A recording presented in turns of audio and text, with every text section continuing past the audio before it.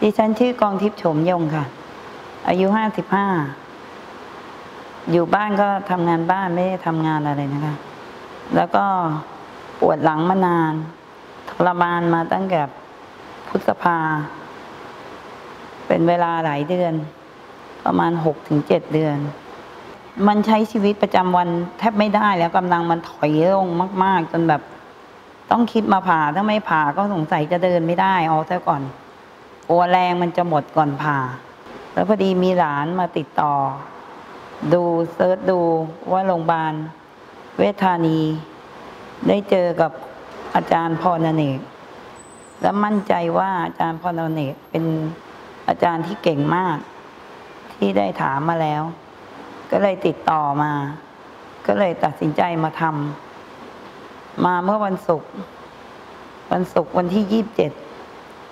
อมาก็คุยกับอาจารย์ คุยกับอาจารย์ปรึกษากันทั้งหลานทั้งลูก ทั้งสามี อาจารย์ก็ให้ความมั่นใจว่าผ่าและเดินได้ไม่อันตราย ก็เลยตัดสินใจผ่า พอนั้นอาจารย์ก็เช็คร่างกายแล้วก็เริ่มผ่าวันเสาร์วันเสาร์ก็อยู่ไอซียูออกมาก็เย็นนะ ใช้เวลาบ่ายชั่วโมงกันประมาณหกชั่วโมง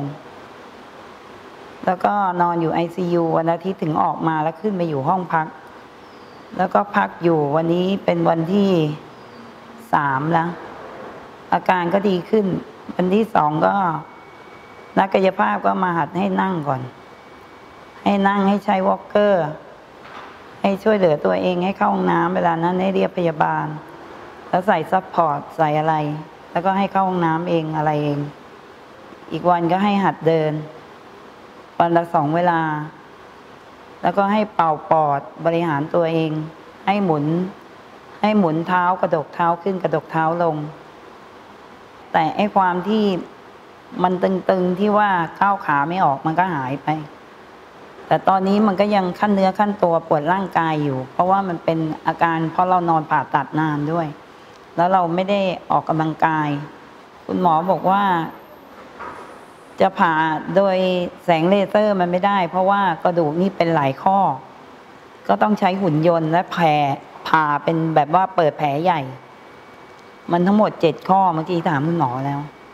มันก็เลยต้องเปิดแผลใหญ่แล้วก็ใช้หุ่นหุ่นยนต์ไปผ่า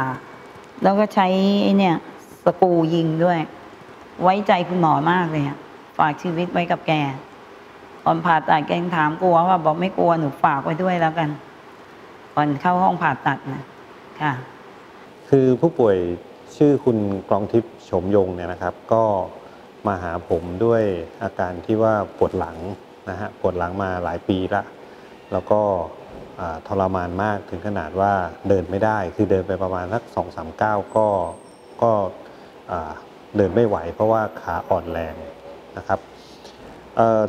จากภาพเอ็กซเรย์แล้วก็ภาพ MRI เนี่ยก็พบว่ามีอาการของกระดูกสันหลังทับเส้นประสาท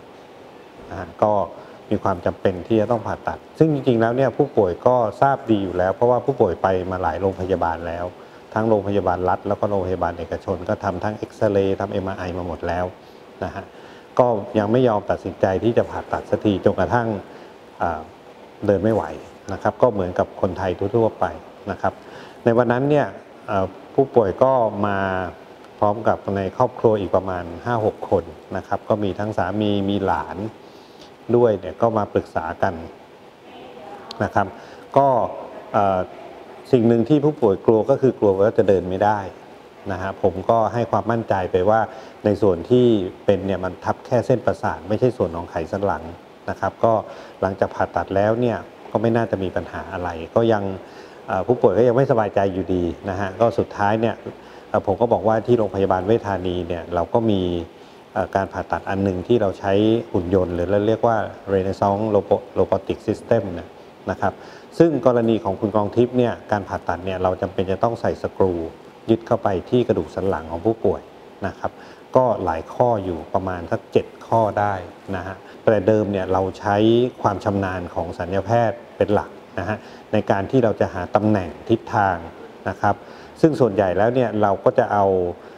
ทิศทางที่ปลอดภัยนะฮะขนาดของสกรูก็จำเป็น ก็เราก็เลือกเอาขนาดที่ปลอดภัย ซึ่งอาจจะไม่ใช่หมายถึงขนาดที่ดีที่สุดนะครับ เพราะฉะนั้นเนี่ยเมื่อเรามีระบบไอ robotic system เข้ามาเนี่ยนะครับระระบบนี้เนี่ยเราจะใช้อคอมพิวเตอร์เป็นตัวหาตำแหน่งนะฮะ รวมไปถึงว่าเราใช้ภาพเอ็กซเรย์ภาพ CT สแกนของผู้ป่วยเนี่ยแล้วก็เอาไปเอาไปต้องใช้คำว่าเอาไปแมทช์เข้ากับผู้ป่วยในขณะที่อยู่ในห้องผ่าตัดนะครับซึ่งมันจะต้องมีความแม่นยำเกิน 99%นะฮะเรียกว่าความผิดพลาดเนี่ยจะต้องไม่ถึง 1มิลลิเมตรซึ่งก็ถือว่าอยู่ในอยู่ในเรียกว่าความปลอดภัยสูงนะครับก็อธิบายผู้ป่วยไปเกี่ยวกับเรื่องว่าการใส่สกรูเนี่ยก็จะปลอดภัยนะครับ ด้วยด้วยการใช้โรบอติกซิสเต็มเนี่ยนะฮะผู้ป่วยก็ยินดีที่จะผ่าตัดนะครับ หลังจากผ่าตัดแล้วนะฮะผู้ป่วยก็ได้ทำช่วงนี้ก็จะเป็นช่วงที่ทำกายภาพก็สามารถจะกลับาสามารถที่จะเดินได้นะฮะช่วงนี้อาจจะยังเดินได้ไม่ดี แต่ก็แต่ก็ดีขึ้นเยอะนะครับ ผู้ป่วยก็พอใจแล้วก็ญาติก็พอใจครับ โรงพยาบาลเวชธานี Victory for Life ให้คำปรึกษาโดยแพทย์เฉพาะทางมาตรฐาน JCI